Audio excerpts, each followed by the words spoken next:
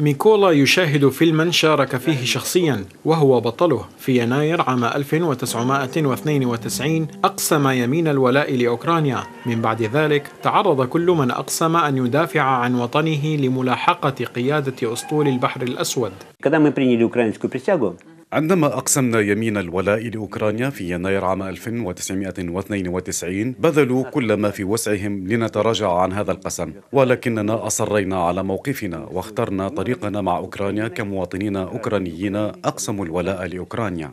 في الحادي والعشرين من يوليو أقدم ميكولا جيباريف قبطان الدرجة الثانية مع رفاقه على خطوة غير مسبوقة عندما رفعوا العلم الأزرق والأصفر وغادروا بحيرة دونوزلاف على متن قارب حراسة. ورغم الملاحقة وصلوا إلى أوديسا. أعلنا مطالبنا وأننا أقدمنا على هذه الخطوة لحماية أسرنا. ولكن نلفت في الوقت نفسه الانتباه إلى أن الأمور ليست هادئة تماما في أسطول البحر الأسود كما كانت تدعي قيادة هذا الأسطول.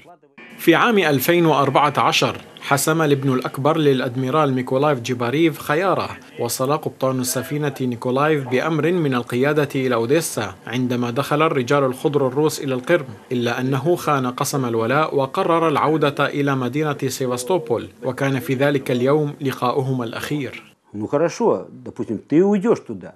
قلت حسنا لنفترض أنك ستذهب إلى هناك. أين سنلتقي لاحقا معك؟ في البحر أم أنك ستطلق النار علي؟ لكنه لم يجب. قلت له أيها الوغد ولم أتمالك أعصابي. ماذا تفعل أيها الوغد؟ مع اسم شهرتك هذا لن تحصل على مهنة راقية ولن تكون شيئا يذكر هناك. يقارن ميكولا نفسه بتراس بولبا الذي كان لديه ولدان أيضا وكان أحدهما خائنا. جيباريف الابن وتسميه الأسرة ميكولا هو بحار أيضا يخدم في حرس السواحل وقد حدد هو أيضا خياره. وتعتبر مخرجة فيلم الخيار أن كل واحد منا يحدد خياره.